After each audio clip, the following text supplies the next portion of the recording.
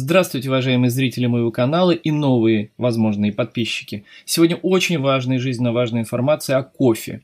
Я жалею, что ранее не записал это видео, которое вы сейчас слушаете. Вот это мое обращение ко всем людям с подробным пояснением всех жизненно важных вопросов по теме кофе. Много лет назад я, правда, говорил в своих лекциях по здоровью о пагубе кофе, но никогда так глубоко не раскрывал эту тему, как раскрою ее сейчас вам. То, что я расскажу вам сейчас о кофе, вероятно, вы ранее этого не знали, никогда даже не слышали, но, по крайней мере, в такой целостности подхода к вопросу и в таком полном образе и понимании данной реальности, вот этой проблемы. Теперь все по порядку. Смотрите данное видео обязательно полностью и не только не пожалеете о потраченном совсем небольшом времени, но уверен, что поблагодарите меня в конце данного видео за эту информацию, которая вам и вашим близким при соблюдении моих предостережений и советов сбережет жизнь и здоровье.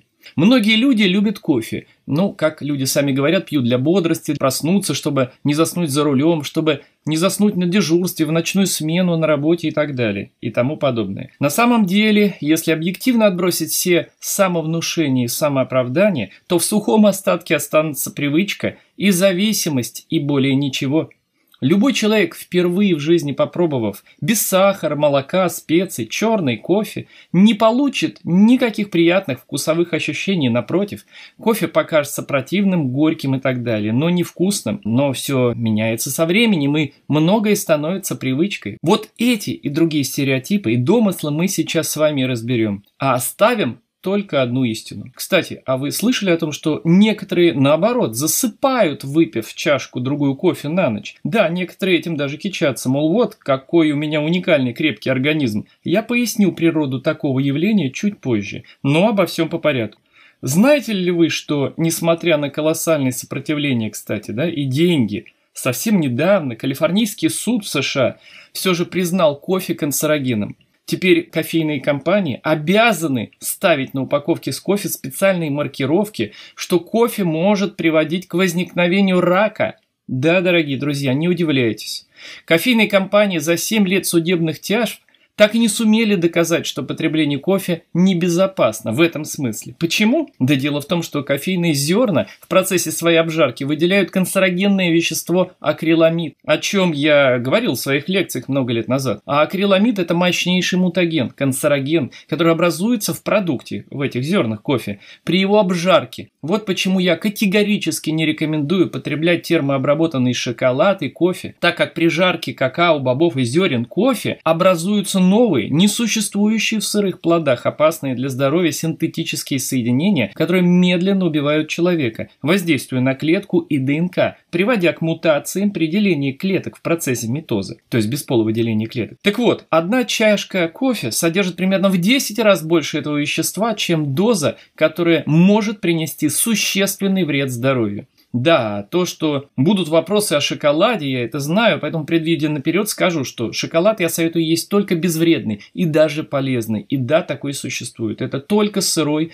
живой сыроедный шоколад, где нет обработки термической, зерен какао-бобов. Что касается акриламида, вы теперь уже знаете, что это такое в общих чертах что в жареном кофе его больше, чем где бы то ни было в других продуктах. Но, кстати, тем не менее, в 2016 году, совсем недавно, онкологическое агентство Всемирной организации здравоохранения исключило кофе из списка возможных канцерогенов. И это понятно, миллиарды долларов перевесили совесть заинтересованных людей и истину. Ну, впрочем, как всегда. Но канцерогены далеко не все проблемы и беды, связанные с кофе. Слушайте про остальное. Да, а то забуду, как обычно. Я настоятельно рекомендую вам подписаться на мой данный канал, кто еще этого не сделал, и не забыть нажать на колокольчик, прошу вас, чтобы не пропустить мои новые, очень важные видео. А нажав на колокольчик, вы будете получать уведомления о выходе моих новых видео – и не забудете посмотреть те видео, которые будут вам интересны. Продолжаю. Многие пьют кофе по утрам, системно, долгие годы. К чему это приводит? Что происходит при потреблении кофе натощак? Вот вопрос. А происходит моментальная реакция с выработкой соляной кислоты в желудке, И поскольку еды нет, а кислота выделяется, выделяется напрасно, выделяется избыточно, так как она необходима для переваривания вообще-то твердой пищи, в основном белковой, то постепенно такая непродуктивная выработка соляной кислоты приводит к деградации этой функции, ну за ее ненадобностью, то есть к уменьшению выработки самой соляной кислоты в желудке, и тогда уже при потреблении пищи она начинает хуже перевариваться, эта пища, особенно сложные высокомолекулярные белки, белки животного происхождения и бобовые. Тогда белковые молекулы, частично непереваренные в больших количествах, чем это происходило бы без таких вот кофейных тренировок, начинают попадать в следующий отдел ЖКТ, то есть 12-перстную кишку, где даже под воздействием фермента трипсина поджелудочной железы не могут до конца перевариться и всасываются через стенки тонкого кишечника в кровь цельными, вызывая ту самую реакцию антиген-антитела, о которой я постоянно и так подробно рассказываю в своих лекциях со всеми вытекающими, как говорится, оттуда последствиями. Смотрите мою вводную лекцию о здоровье. 9 причин болезней. Ведь именно это явление, вот эта вот реакция антиген-антитела, является первопричиной всех болезней человека. То есть потребление и последствия потребления высокомолекулярных белков. В результате многие эндогенные яды остаются и накапливаются в организме, поскольку перегружаются все выделительные системы и некоторые органы, печень, почки, лимфатическая система. Смотрите мою лекцию по лимфе обязательно. Так вот, конечный результат накопления и неполного выведения токсинов из организма есть нарушение деления клеток, грибковые поражения и, как следствие, доброкачественные опухоли и онкология. Еще одна проблема, она заключается в том, и я об этом тоже говорил ранее, что кофе – сильнейший закислитель организма, а ведь все среды нашего организма, за исключением желудочного сока, щелочные, кровь, лимфа, спинномозговая жидкость, слюна и прочее. Также в кофе есть разнообразные вещества, которые влияют на слизистую желудка, то есть не только бактерии хеликобактер, и кишечника, приводя к язвам и гастритам, как непосредственным своим воздействием, так и излишним закислением сред. В результате защитные барьеры желудка, кишечника ослабевают, и человек начинает болеть, любые хронические заболевания обостряются, иммунитет падает, могут развиваться инфекции и аутоиммунные заболевания. А вот еще одна проблема кофе. Кофе вымывает важнейшие минералы из организма, особенно щелочные – калий, кальций, марганец, натрий, магний и даже цинк. Это происходит именно из-за попытки организма снизить избыточную кислотность кишечника, чем щелочью, конечно. То есть, как с молоком, когда из-за закисляющего воздействия молочного белка казеина, о чем я говорил ранее в своих лекциях, посмотрите обязательно по молоку, Организм вынужден брать все щелочные минералы, вот эти щелочные металлы, на реакцию нейтрализации кислот как из самого выпитого молока, так и из запасов собственного организма. Вот почему. И разрушаются зубы, кости и волосы. Мы сильно закисляем свой организм неестественной, белковой и вареной, денатурированной пищей. А добавить, если к этому кофе, процесс ускоряется многократно. Помните об этом. Еще одна проблема кофе заключается в том, что систематическое потребление его приводит к расслаблению, дисфункции сфинктера между желудком и пищеводом, ну, что в свою очередь приводит к выбросу кислоты из желудка в пищевод. И мы ощущаем что? Изжогу, сдутие, отрыжку. А теперь про энергию. Запомните, дорогие друзья, и не обманывайте впредь себя более. Кофе не дает энергию, а напротив, забирает энергию организма, укорачивая его небезграничные ресурсы. Кофеин, если он вообще есть в кофе, об этом ниже мы поговорим, он стимулирует выработку трех гормонов – адреналин, норадреналин и кортизол, гормоны надпочечника. Все эти гормоны вырабатываются в организме естественным путем на стресс, опасность, ярость.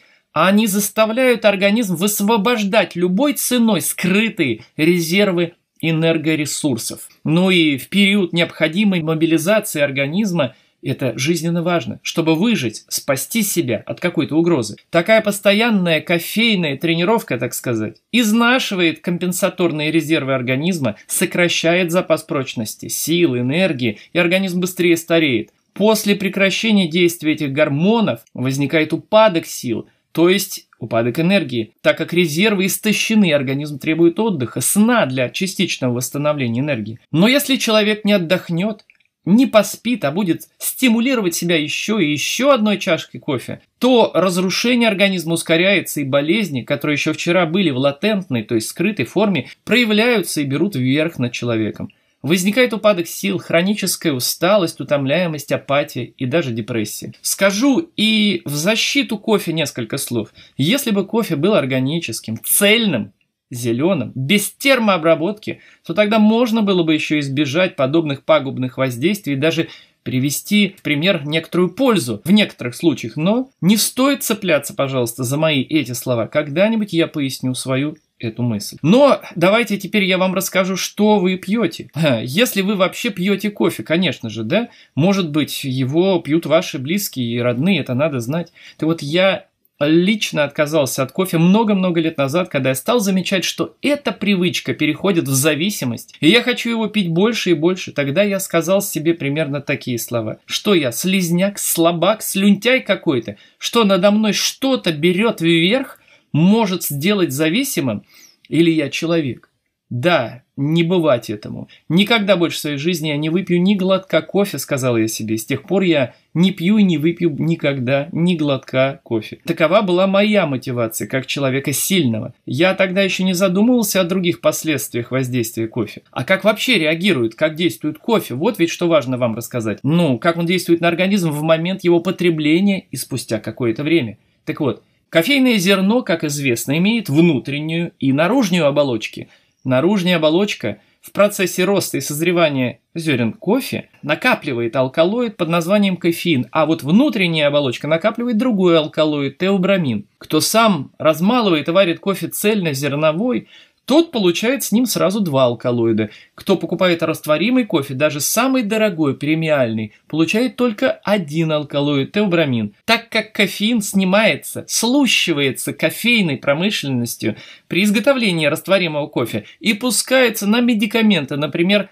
цитрамон и энергетические различные напитки. А вот внутренняя оболочка зерна идет на производство того самого до боли родного и знакомого, любимого растворимого и гранулированного кофе. Поскольку это многомиллиардная индустрия, то уже более 10 лет попытки, все попытки ввести в закон и заставить компании писать на этикетках, что данные виды кофе без кофеина не венчаются успехом, как, собственно, и тот факт, что ВОЗ отклонила неоспоримые данные о том, что акриламид вызывает рак. И это звенья все одной цепи. Деньги ведь решают все, а большие – все абсолютно. Какое дело до здоровья людей им? А я надеюсь, вы это понимаете. Ну а что медики, спросите вы, да они либо ничего сами не знают, либо пьют тот же кофе верят в его пользу или безвредность. А разницу растворимого с цельнозерновым кофе вообще не понимают, так как не задумываются или давно позабыли основы биохимии, либо не могут или не хотят противостоять системе. А то одни уже противостояли в своих лабораторных исследованиях по влиянию ГМО и трансгенов на организмы мышей, человека, и что в итоге? А их уволили с работы с полным замалчиванием их исследований и выводов, зато публиковали в СМИ иные заказные исследования – более покладистых ученых, которые содержатся этими корпорациями. А этим честным специалистам перекрыли кислород, как говорится. То есть они уже более не могут устроиться и рассчитывать на какую иную любую работу в научной среде. Хорошо живем, да? К чему мир катится? Ну, извините, отвлекся. Ради справедливости стоит сказать, что есть марки растворимого кофе, которые все же содержат некоторое, совсем, правда, незначительное, остаточное количество кофеина. А есть и те, кто пишут, что кофеина в кофе у них нет. Но это исключение, и ничего они не решают. Итак, кофеин, он сужает просветы всех сосудов, кроме почек. Запоминайте, это самое главное. Кофеин сужает просветы всех сосудов, кроме почек. Потому и повышает артериальное давление крови. Вы помните про гормоны стресса? Они это и делают. А вот сосуды почек, и только почек, кофе расширяет, потому он есть мочегонное средство – так как повышает кровоток в почках, значит, происходит ускоренная фильтрация крови в почках с образованием мочи и быстрым ее выведением. Причем моча прозрачная, как правило, как вода, потому что почки просто работают холостую и, кстати, перегружаются, и их ресурс снижается при этом. Этот эффект кофеина проходит уже через 20-25 минут, и тогда наступает явная работа другого алкалоида, теобрамина, так как его эффект медленный и более долгий. Действует он около часа и заключается в том, что теобрамин расширяет напротив, то есть расширяет все сосуды организма, но кроме сосудов почек, то есть с точностью наоборот. То есть артериальное давление из-за расширения просветов сосудов, что снижается при действии теобрамина. Потому у гипертоников, у кого повышенное артериальное давление, от растворимого кофе и нет гипертонических кризов и повальных смертей, как были бы непременно от цельнозернового кофе с его кофеином. А почечный кровоток, напротив, ухудшается из-за сужения почечных сосудов. Иногда могут быть даже тянущие ощущения в области почек в пояснице. Ни к чему хорошему такая тренировка в перспективе не приведет. Но кровоток почек при этом можно восстановить, правда не сразу, ну все же можно, выпив стакан воды. Лучше водородной воды с ОВП минус 200, минус 700 милливольт. Или содовой водой, правильно приготовленной. Но это не значит, что ничего страшного и можно пить кофе и дальше. Хотя решайте сами, стоит пить любимый ваш кофе или все-таки уже не стоит. Важно пояснить вот что. Надо подчеркнуть, что часто после растворимого кофе хочется спать, а не бегать. Это правда, и тут нет ничего удивительного. Это происходит именно потому, что в нем нет кофеина, а есть теобрамин. Так что те, кто гордится своей особенностью, мол, от кофе я сплю, вот такой я крутой, особый такой, расслабьтесь, товарищи. Теперь вы знаете истину, от чего вы засыпаете после подобного, так сказать, кофе. Поэтому, если пить растворимый, не цельнозерновой кофе, то вы будете разбиты, вялы, сонливы. Если же цельнозерновой кофе будете пить, то искусственная бодрость к вам придет всего на 20-25 минут, а после ждите фазу сонливости из-за неминуемого воздействия теобрамина. Какой бы сорт кофе вы не потребляли, Именно потому и формируется в начале привычка, когда через полчаса человек пьет еще одну чашку, чтобы вернуть бодрость, а через 30 минут еще одну и еще. Со временем эта привычка перерастает в самую настоящую, обыкновенную и стойкую наркотическую зависимость. Вы человек или наркоман, скажите себе сами. По крайней мере, более не обманывайтесь, что кофе не наркотик, а вы независимы от него. Будьте разумны и честны хотя бы перед собой. Кстати, обратите внимание на то, что дальнобойщики, и не только они, бьются ночью на 20-х, 40-х километрах трасс от городов, из которых ночью они выехали, выпив на дорожку пару чашечек крепкого горячего, горячо любимого растворимого кофе. Ведь действие теобрамина человек не может усилиями воли побороть. Рано или поздно – Хм, случится то, что случается. Такие же кюветы и аварии можно постоянно наблюдать в тех же, ну, примерно 30-40 километрах от кофеин на дорогах, где водители отхлебнут чашечку кофе. Тем более ночью, когда организм особенно сопротивляется бодрствованию, если у него, конечно, не сбита естественная программа ритмов жизни, так как ночью человек должен крепко спать, и это естественно. Тут вспоминаются слова поросенка Фунтика из одноименного детского мультфильма советского. «Лучший кофе на дороге отхлебнешь, протянешь ноги. Там смысл другой, однако верный и по причине, о которой я вам сейчас только что рассказал. Биохимия – жизнь, это подтверждаю. Берегите себя и своих близких, если они вам дороги, конечно. Также берегите, что еще важнее, если вы человек порядочный и совестливый, жизни и имущества ни в чем не повинных людей, не пейте не только алкоголь вообще, но и кофе, тоже. Ну, уж кофе, по крайней мере, за рулем не пейте. По крайней мере, растворимый. Отправляясь в вынужденную ночную дорогу, отоспитесь днем или вечером. В крайнем случае, возьмите в термос с собой черный или зеленый чай. Там уж, по крайней мере, нет теобрамина, а только кофеин, который даст вам бодрость на какое-то время. В жизни человека много самообмана и глупости. Как только человек себя не обманывает. Например, с алкоголем, говоря, что он пьет и стресс снимает, а на самом деле он только усугубляет свой стресс. И это хорошо видно на энцефалограммах. А то, что ему кажется, что стресс ушел, так это влияние наркотика, то есть этилового спирта, после определенных доз которого человек просто перестает чувствовать боль. Также и с кофе, дорогие друзья.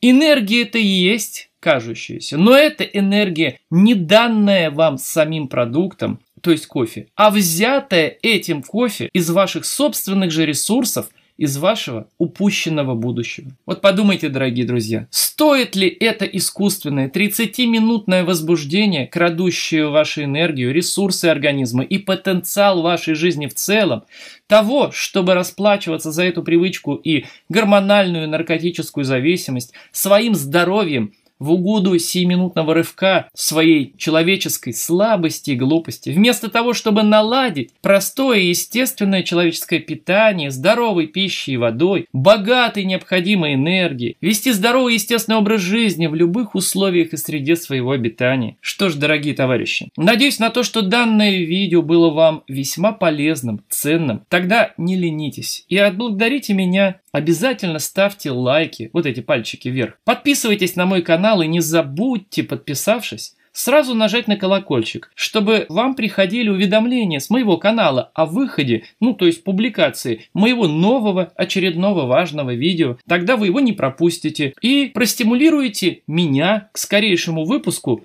новых видео с очень важной ценной информацией для вас. Что ж, крепкого вам здоровья, дорогие друзья, и здравомыслия. До новых встреч!